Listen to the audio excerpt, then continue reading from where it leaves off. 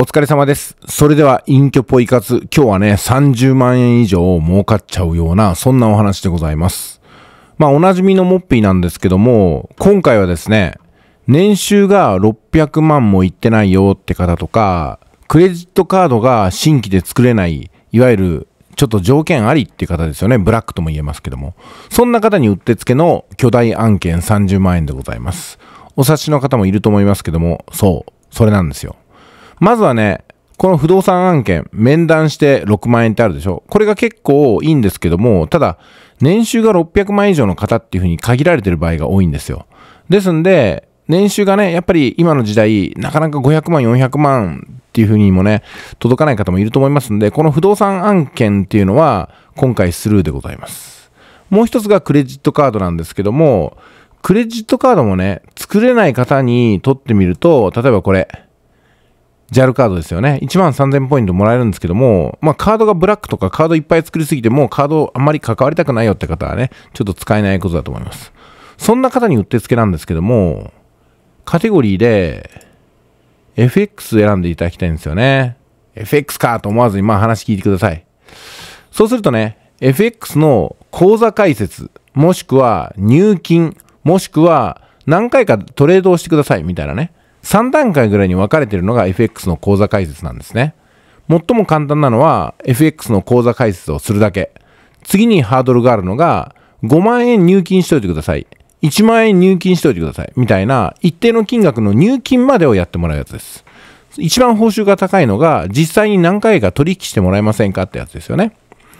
まあ実際に取引するとしても、ちゃんとボーナスで十分補填できますので、損が出ることは基本的にはないんですけども、でもやっぱりちょっとね、抵抗あるじゃないですか。はい。で、今回はざっくり全部を紹介して一体いくらになるのかってことです。そう。口座開設をします。入金もします。取引もします。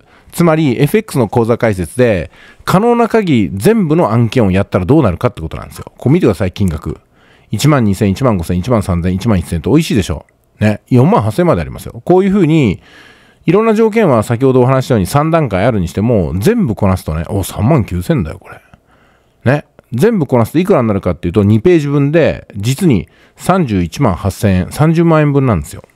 だから、私はこういうふうに申し上げたいと思います。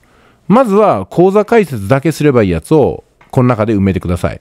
それはね、あの、やっぱり数千円台、多分2000円とか1800円とか3000円。これがおそらく口座開設するだけっていう一番簡単なやつです。次が、入金もしてくださいってやつね。入金、例えば3万とか5万とか10万入金しといてください。取引しなくてもいいですっていうのが次のハードルです。それはね、7000とか8000とかもらえるやつが、それに当たるんだと思いますね。まあ多分この辺もそうでしょう。うんで、一番金額の高いやつ、1万円を超えるやつね、こういうやつは実際に何回か取引をしてくださいねっていうのが入ってると思います。はい。で、個別1個ずつ取り上げて、えーやったりとかね、グルーピングはまだしませんけども、今回はこの FX の口座開設に関してね、30万が一気に入るよってことなんですよ。まあですんで、近々狙っていただきたいかなというのが私のお気持ちです。